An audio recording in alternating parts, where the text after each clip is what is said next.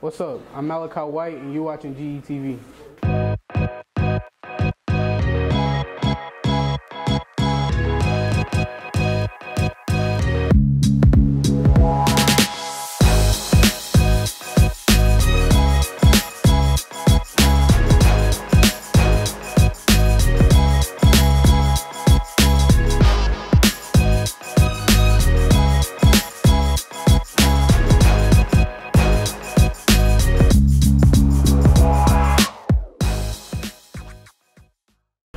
Ruskin's varsity boys basketball team entered the 40th annual William Jewell Classic Tournament 5 and 2.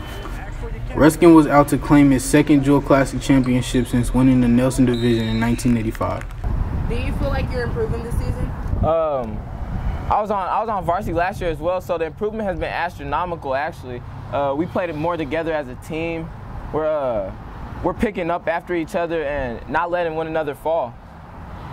After defeating Blue Springs and Grandview Christian, Ruskin crushed the undefeated Liberty Blue Jays to win the championship game 52 to 48. How does it feel making history winning a championship game?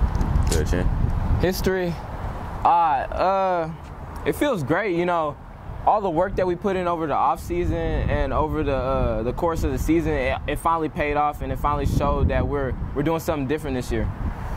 Uh, it felt great because we're showing that we are better than everybody says we are because they always downsizing us for nothing. Uh, how do you feel before the game? Any nervousness? Nervousness?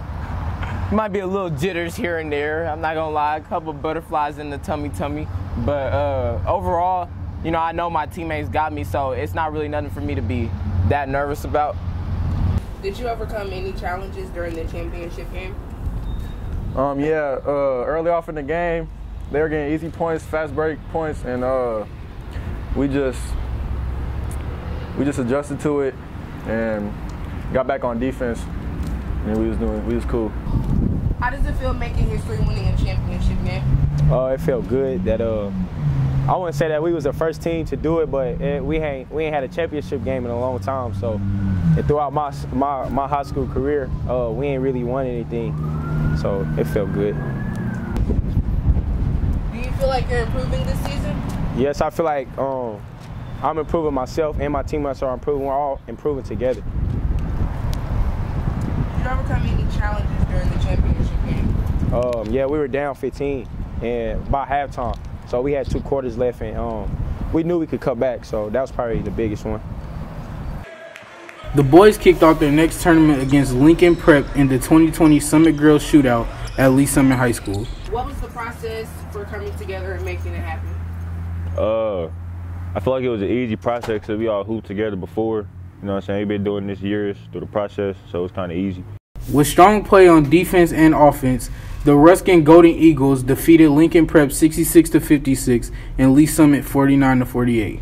How does it feel winning two tournaments? Uh, it feels good.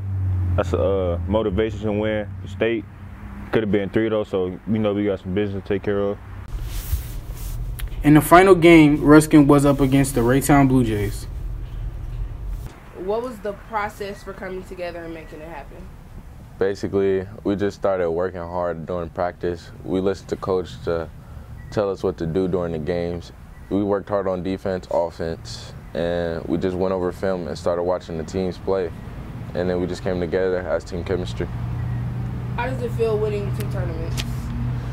Well, it feels wonderful because our bond builds up, and that that gives us more confidence to win every game.